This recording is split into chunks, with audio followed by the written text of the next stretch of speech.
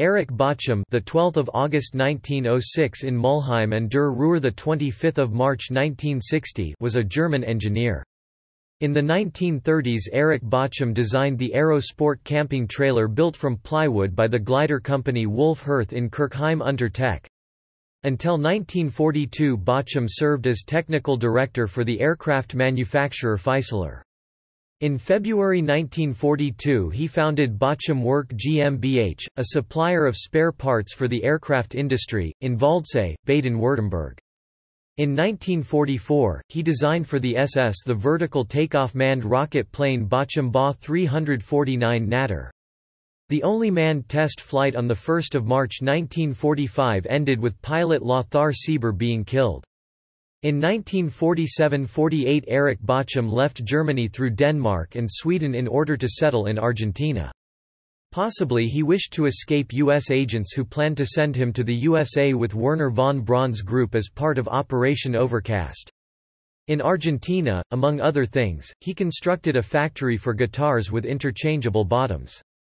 In 1952 Bachem returned to Germany to become technical director for the company of his father-in-law Heinrich Wilhelm Schwartz, Ruhrthaler Maschinenfabrik Schwartz and Dyckerhoff GmbH, in Mülheim. There he developed the modern streamlined mine locomotive Ruhrthaler Vollzucht along with various other pieces of mining machinery and long-distance diesel locomotives. He occupied this position until his untimely death. From 1957, together with Erwin Hymer at Hymer, he designed camping trailers sold as Eraba Erich Bachem, or possibly Erika Bachem after his wife with names like Troll, Puck, Touring, Nova.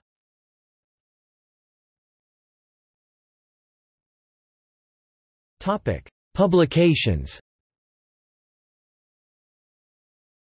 Die Praxis des Leistungssegelfliegens. Berlin, Volkmann 1932, 2.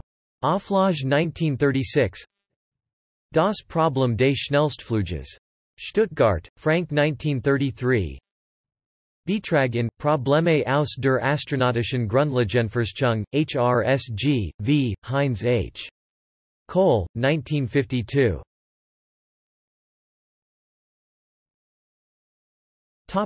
Literature Nachrufartikel in Wissenschaftliche Gesellschaft für Luft- und Raumfahrt, Jahrbuch, J. G.